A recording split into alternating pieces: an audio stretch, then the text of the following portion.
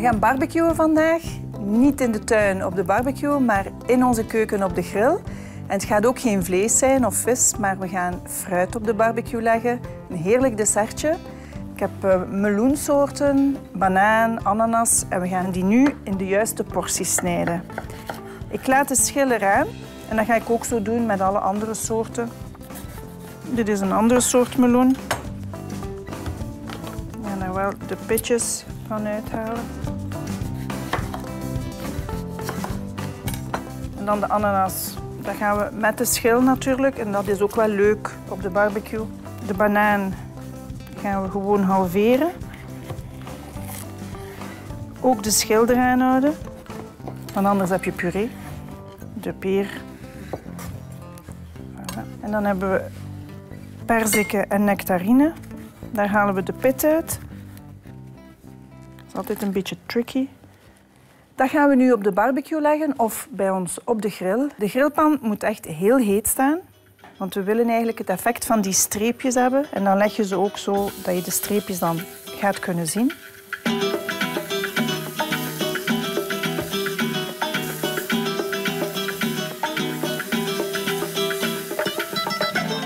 Dus de bedoeling hier is streepjes.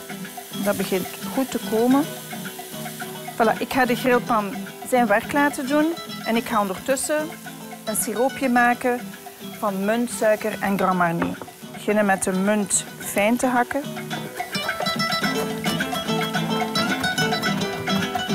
En dat gaan we nu mengen. En nu mag daar Grand Marnier bij. En nu mengen tot een siroopje.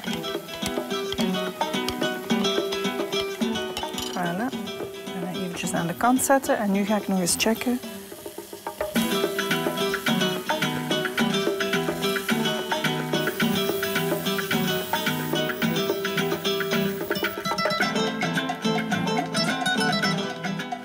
Zilverpapier inleggen.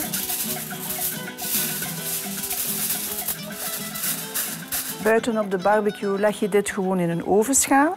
Hier binnen hebben we dus ja, geen barbecue, dus doe het zo. Dan leggen we alle stukken fruit er terug in. Met de schil naar beneden deze keer. Voilà, nu gaan we die siroop of dat stroopje dat ik gemaakt heb van die Grand Marnier, die suiker en die munt, gaan we hier nu overstrooien.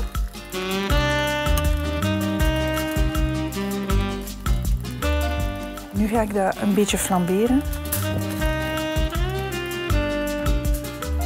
Als de alcohol volledig verdampt is, gaan we het dicht doen.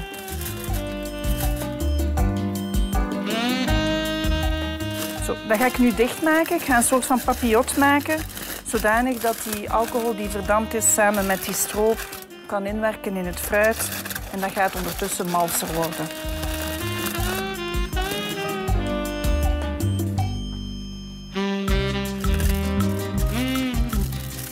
Oké, dat ziet er goed uit.